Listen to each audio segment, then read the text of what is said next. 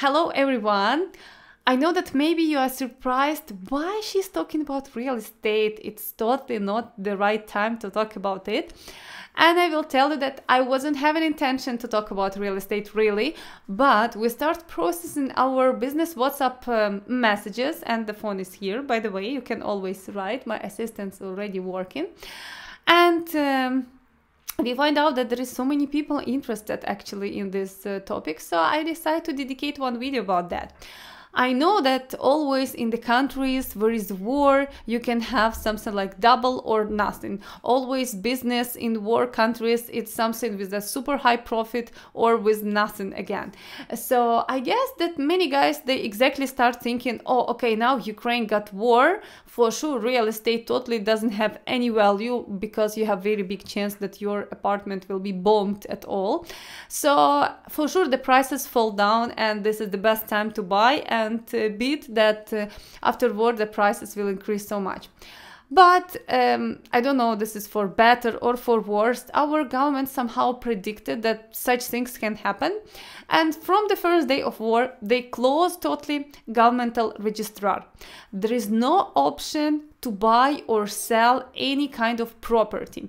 And this is made for a couple of reasons because we already have such case in 2014 when Russia invaded Ukraine since the beginning on the east of Ukraine, there was a lot of notaries who was uh, corrupted. Uh, they was doing a lot of deals with no proper documents. Then you need to go to court and start prove something, and not always you can prove. There is a lot of scammers for sure, and so on and so on.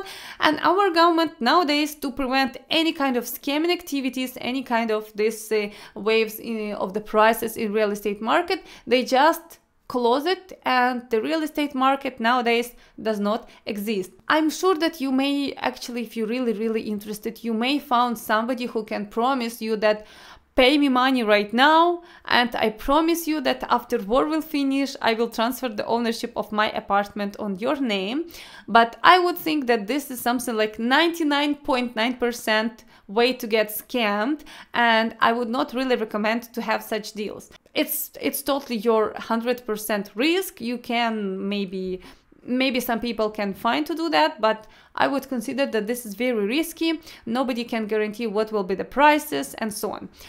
Regarding renting of apartment the rent of apartment is still there. So for example i was renting apartment in kiev and i'm still paying rent. Even uh, once the war started exactly the day before war i paid the full amount upfront for the next month and i for sure didn't stay any of those days in uh, that apartment. And then for the next month so actually for the march when i was already in europe but still i have my things in apartment my owner was asking initially to pay full amount at all with the prices which we agreed before war and which was in our contract. But i told them that you know it uh, doesn't really seem fair while we are not staying there there is bombs there is no access to enter kiev because on that time there was russian army surrounding all the city. And they agreed to uh, to give me 50% discount for the months, which is uh, very dangerous. Because before war, you was able to rent a one bedroom apartment in Kiev in some kind of good area in good condition about it will cost you about $700 or $600 now you can say it's $500 $450 so it goes down but it didn't go so much down. It didn't drop so much.